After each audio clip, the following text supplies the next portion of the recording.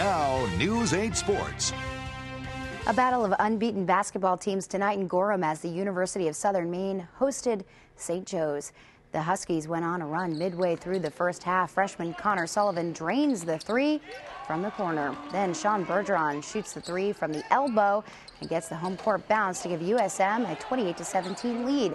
St. Joe's would respond behind senior Tyler Kelly. He scored 11 straight monk points and had 19 in the half. Cortez Isaac closed out the first half with a bang. He drains the three pointer from just inside half court to give the Huskies a seven point lead at the break. The Monks rally back in the second. Chris Petsy buries the three to give St. Joe's a 63 62 lead. Then Zach O'Brien finds Kelly on the backdoor pass. Kelly at 27. O'Brien will seal it in with the final minute with a tough jumper in the lane. St. Joe's picks up the 81 75 win. They're now 3 0.